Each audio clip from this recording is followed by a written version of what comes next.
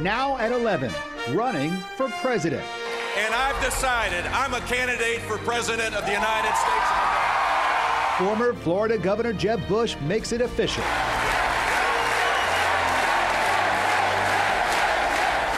And the former governor will run on his record here in Florida as he joins a crowded Republican field.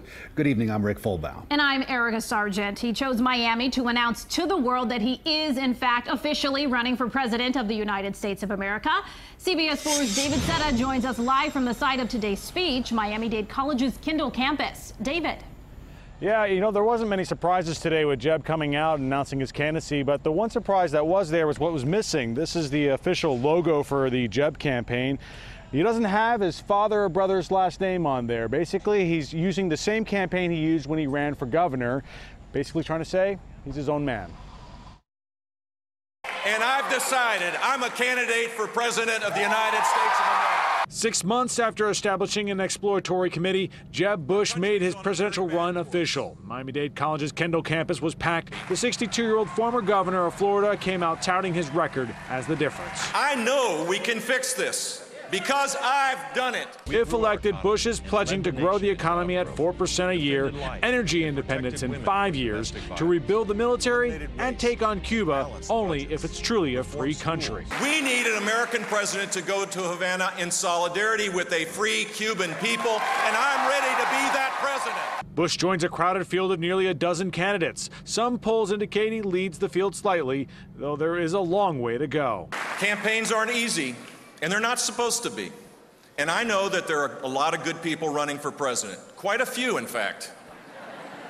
And not one of us deserves the job by right of resume, party, seniority, family, or family narrative.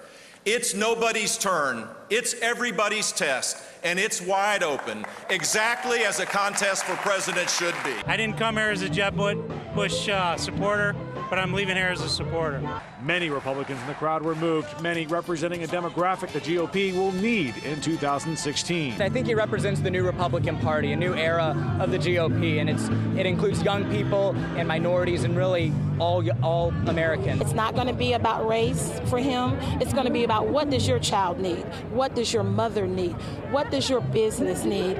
What does your school school need? That's the kind of the president he's going to be. Immigration, though, could be a sticking point. As a representative of the college, I'm asking you guys to leave. Before and during Jeb's announcement, protesters interrupted, looking for immigration reform. Bush didn't skip a beat. The next president of the United States will pass meaningful immigration reform so that that will be solved, not by executive order.